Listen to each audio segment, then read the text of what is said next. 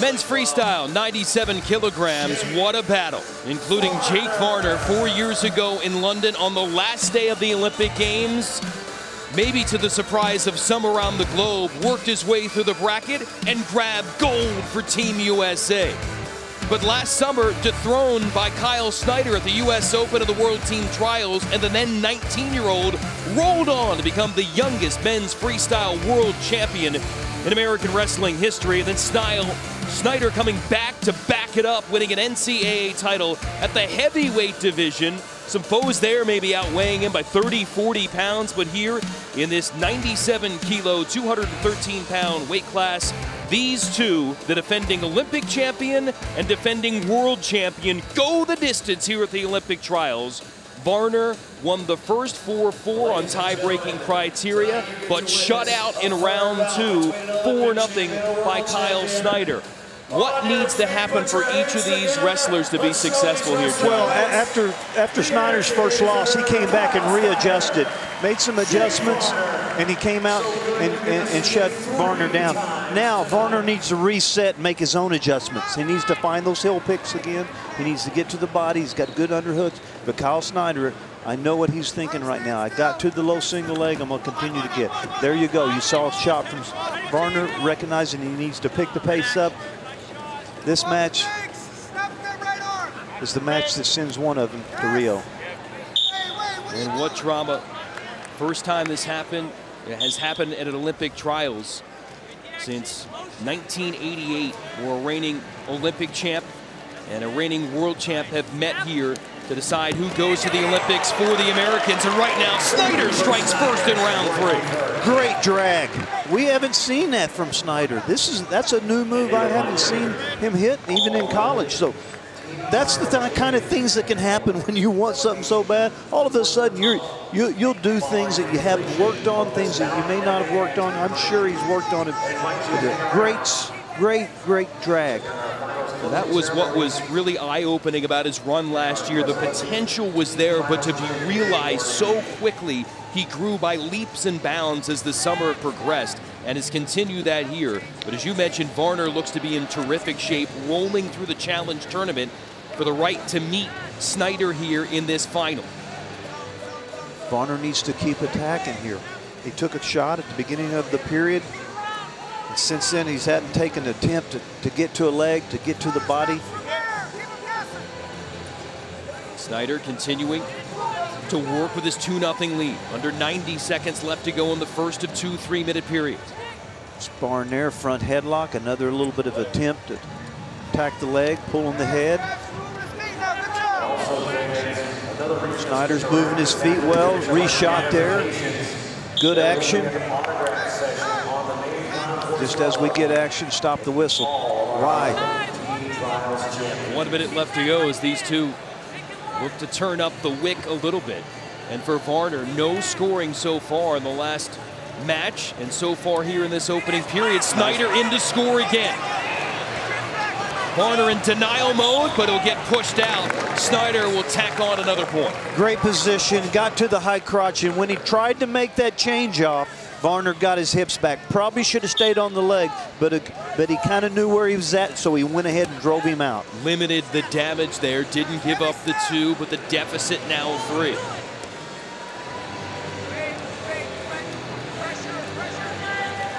Snyder's moving well. He's on the head now. He's starting to pull it a little bit more. Something we haven't seen.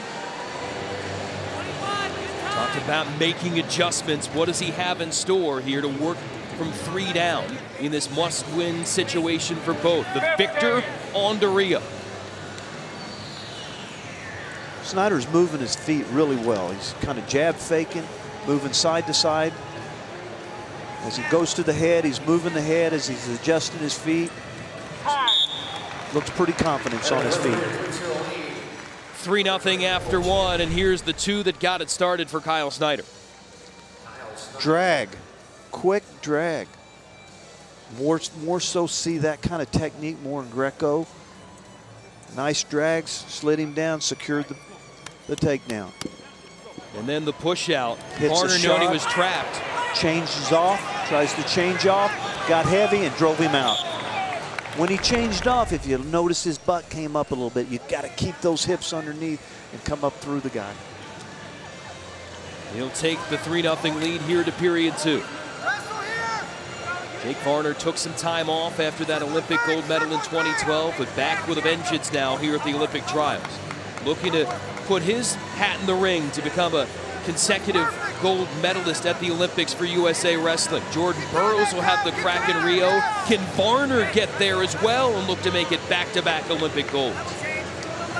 Snyder's really moving his feet well in this match. He's kind of jab faking, feels real light on his feet, feels confidence, looks confident. Boom, taking a shot, making a change off. Able to Probably finish the two 4-2. Just seeing the confidence as he scored the, his third point and now his fifth point. You're just seeing the movement in his feet. And I'm, he may not be done scoring. Varner needs to score the next points. If he wants a shot at this, he needs to score the next points. Again, making adjustments after losing round one, and he shut out Varner since. 4-0 in round two, and so far, 5-zip in this decisive third meeting in the championship final. Notice the constant jab fakes. Even though Varner's not reacting to it, he's jab faking, and then he's taking the shot.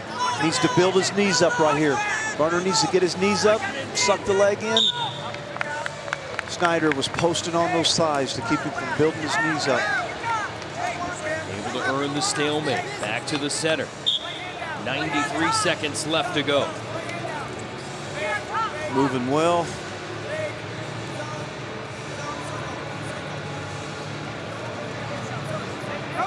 Snyder now can work with this lead. Varner needs to find something out of the back pocket, and instead he gets backed out by Snyder for another point of the push out. And an, again, another drag. Another drag to a push out. Nice adjustments. We didn't see that technique in either of those first two matches. Adding another layer to the attack plan. He's the reigning world champion. Hanging on the head here. Not going to build up there. Doesn't want to give up the point. Moving his feet really well. Desperate times now for Jake Varner to try to find a way to get a big move against Kyle Snyder, who has given up very little in the last 18 months or so since his arrival in the college ranks. Lost, got pinned in the NCAA final in 2015, said it made him angry wouldn't have the opportunity to be a four-time college champ, so he got invigorated, went on that massive run last summer, titles at the U.S. Open, the World Team Trials, and the World Championship. Another college crown this year, and closing in on a run to Rio. This has been dominant since that opening round of the series, John. Unbelievable. He's, he's worked well on his feet in the last two matches. I'm telling you, the movement on his feet, really was quite different in the second and third match compared to the first. Varner gets one point, but that will be it. An Olympic champion for four years ago won't have the chance to defend his title because the reigning world champion is going to the Olympics for the first time in his quest to retain the title as the best at his weight in the world.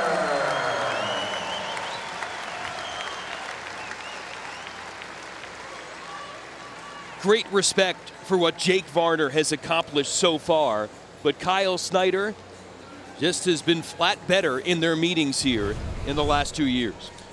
Watching him, you see his foot movement, got to the leg, finished it, drove, changed off there, went head to the knee, set him to his butt, and covered the legs. Just the, the movement in those second and third period that adjustment from the first going, I got to move my feet more. I'm sure his coaches were in the back going, move your feet, move your feet, move your feet. And Kyle Snyder joining us. Kyle, congratulations. John Smith just talking about you got beaten round one. What were the adjustments like to turn it around in rounds two and three? Just in my stance, I wasn't in a attack position. I think my feet were too square. So made it hard to get to his legs, but and he's, he's just a good wrestler. You know, it's hard to finish on his hip, so I got to hit him lower. One thing I noticed, Kyle, you moved your feet a lot more in that Yeah. second and third. I mean, you kept that distance. You got to your low single leg, and then when you got to it, a lot of times you either built up to your your bear hug or you or you dumped him. Your finishes were solid. Right. Yeah, for sure. I mean, I thought that if I got to his leg, I'd have a good chance of finishing it. But in the first match, I came up to the body a couple times, need to stay on the leg. But um, yeah, definitely made a couple adjustments. Kyle, so much has happened for you so quickly.